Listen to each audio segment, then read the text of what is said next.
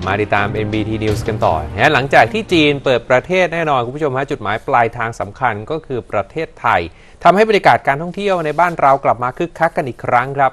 อย่างที่วัดอรุณราชวราราม ซึ่งเป็นสถานที่ท่องเที่ยวสำคัญ มีนักท่องเที่ยวต่างชาติเนี่ยเขาไปเช่าชุดไทยมาสวมใส่ถ่ายรูปเช็คอิน กับวัดอรุณจำนวนมากเลยทีเดียวนะครับทำให้บรรยากาศบริเวณนั้นเนี่ยกลับมามีชีวิตชีวาอีกครั้งหลังจากเงียบเหงาไปในช่วงสถานการณ์โควิดนะครับ ไปดูบรรยากาศกันก่อนเลยแล้วกันนะครับ บรรยากาศบริเวณร้านเช่าชุดไทยที่อยู่ใกล้ ๆ กับวัดอรุณเนี่ยโอ้โห ผู้ประกอบการแถวนี้บอกว่า กลับมาคึกคักอีกครั้งนะหลังจากการเปิดประเทศของจีน เพราะว่ามีนักท่องเที่ยวต่างชาติเนี่ยเดินทางมาเช่าชุดไทยใส่ถ่ายรูปกับวัดอรุณจำนวนมาก ซึ่งจากการพูดคุยกับเจ้าของร้านเช่าชุดเนี่ยบอกว่านักท่องเที่ยวกลับมาคึกคักตั้งแต่หลังปีใหม่แล้วนะครับโดยเฉพาะนักท่องเที่ยวชาวจีน เวียดนาม สิงคโปร์ ส่วนใหญ่จะนิยมมาเช่าชุดไทยเพื่อจะไปถ่ายรูปกับวัดอรุณนะฮะซึ่งนักท่องเที่ยวที่มาก็มีทั้งแบบครอบครัว มาเป็นคู่มาเป็นกลุ่มเพื่อนนะครับผู้หญิงส่วนใหญ่ก็จะนิยมเลือกชุดไทยแบบห่มสบายนะสีสันสดใสมีเครื่องประดับสวยงาม ส่วนผู้ชายก็จะเป็นนุ่งจงกระเบนนะครับผูกผ้าคาดผ้าผูกเอวเนี่ยนะบางคนก็เลือกถือพร็อพด้วยนะครับครับแต่ไม่แน่ใจว่า prop เนี่ยจะเข้ากับชุดหรือเปล่านะฮะ prop เขาบอกว่ามีทั้งดาบไม้ มีร่มแล้วก็กระเป๋าด้วยนะฮะราคาเริ่มต้นของชุดเช่าเผื่อคุณผู้ชมสนใจนะฮะครับ ชุดหนึ่งตก 200 บาทเท่านั้นเองอ่าใส่ถ่ายรูปได้ 2 ชั่วโมงถ่ายกันให้เหนื่อยเลยฮะไม่แน่ใจว่าได้กี่ร้อยรูปนะฮะสองชั่วโมง 200เท่านั้นนะฮะครับตั้งแต่ปีใหม่ยังไม่ได้หยุดร้านไม่ได้ปิดเลย ร้านเปิดตลอด ก็นักท่องเที่ยวก็เนี่ยเดี๋ยวสักประมาณ 10โมงกว่าๆเนี่ยก็จะเริ่มทยอยมากันแล้ว ก็จะไม่ได้หยุดกันเลย และส่วนใหญ่จะเป็นนักท่องเที่ยวจีนมากันแล้ว มาเป็นครอบครัวครับผม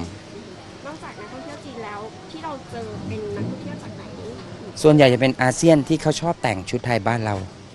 ก็จะเป็นเวียดนาม มาเลเซีย สิงคโปร์ฟิลิปปินส์ซะเป็นส่วนใหญ่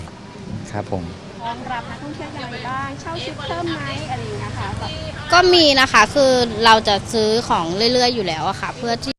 เปลี่ยนใหม่หรือว่าอะไรใหม่ๆอย่างเงี้ยค่ะ ตลอด ราคาเช่าชุดนี่เราคิดเป็นยังไงอะเริ่มต้นที่ 200 บาทค่ะ อาจจะมีค่าทำผม 50 บาทอะไรอย่างเงี้ยค่ะ แล้วก็ค่ากระเป๋าแล้วแต่บางคน อะวัดที่วัดอรุณว่าคึกคักแล้วนะครับครับจะพาคุณผู้ชมไปดูที่บรรยากาศที่เกาะช้างจังหวัดตราดคึกคักอืม ไม่แพ้กันนะครับ เพราะว่า มีคาราวานนักท่องเที่ยวจากมณฑลยูนานจากประเทศจีนนะครับเดินทางมาด้วยรถยนต์ส่วนตัวนะครับจำนวนกว่า 10 คันนะครับมีนักท่องเที่ยวรวมๆกว่า 30 คนนะครับเข้ามาท่องเที่ยวที่เกาะช้างที่บริเวณโรงแรมเซนทราเกาะช้าง Tropicana Resort and Spa โดยมีทางคุณศักศักดิ์สิทธิ์นะมุ่งการสภาอุตสาหกรรมท่องเที่ยวจังหวัดตราด และคุณวิชิต สุกระสูยานนท์นายกสมาคมธุรกิจการท่องเที่ยวจังหวัดตราด ให้การต้อนรับอย่างอบอุ่นเลยนะเพราะว่าเป็นการเดินทางมาอย่างเป็นทางการ ภายใต้การประสานงานมายังการท่องเที่ยวแห่งประเทศไทย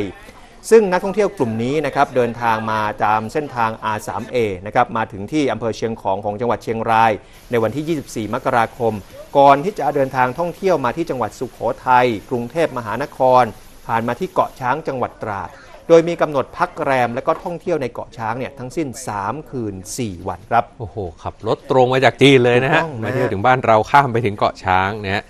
อะขยับไปดูอีกเกาะหนึ่งกันหน่อยคุณผู้ชมฮะซึ่งถือว่าเป็นเกาะที่มีชื่อเสียงระดับโลกนะฮะก็คือเกาะสมุยของสุราษฎร์ธานี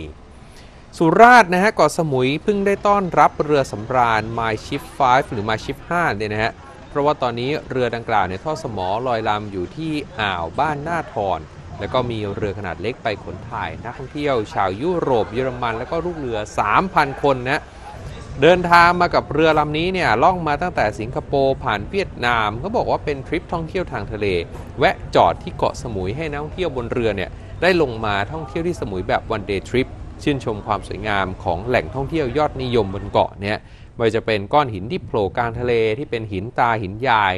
ความร่มรื่นของน้ำตกหน้าเมืองเนี่ย และได้ชมวิถีชีวิตการเลี้ยงช้างปางช้างในพื้นที่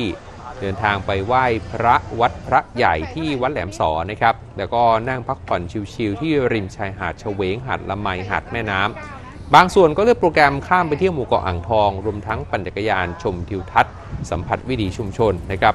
ตลอดจนนะฮะไหว้ขอพรองค์เทพเจ้ากวนอู และสิ่งศักดิ์สิทธิ์ประจำศาลเจ้ากวนอูเกาะสมุยเนี่ย ทีนี้นายอำเภอเกาะสมุยคาดการณ์ครับว่าเรือสำราญลำนี้ที่ขึ้นเทียบท่าที่เกาะสมุยวันนี้เนี่ยจะมีเม็ดเงินสะพัดบนเกาะนะฮะโอ้โห เฉพาะทริปนี้ทริปเดียวไม่น้อยกว่า 10 ล้านบาทเนาะๆนะฮะ วันเดียวเองนะคุณ วันเดย์อ่าทริปนะ 10 ล้านบาทแล้วครับ นะครับ